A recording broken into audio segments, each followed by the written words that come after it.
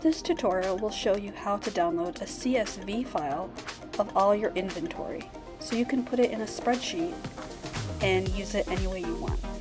There are two ways to get to this feature. The first is to go to Multi-Actions and select CSV from this drop-down menu. The other way is to go to the Settings menu. Once you've clicked on the Settings menu, there are different tabs. Choose Export to CSV. You can choose the date, or you can also just select all inventory. Here I'm going to do just a few days.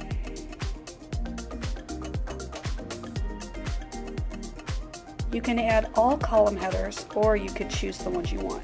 Here is a list of all the ones you can choose from. So I'm just going to hit all headers. Then press the button to generate your CSV file. Once it open, once it pops up, you can save it to your computer. Now that you have your CSV file, you can open this in any spreadsheet program. Many people use Excel, or if you have a Mac, you might use Numbers. You can also use Google Sheets. To use Google Sheets, open a new one and hit Import, select your file. You can drag and drop your file in. It will upload. Once you hit the Insert Data button, all your data will populate, and now you can see all your inventory that's in Vendoo.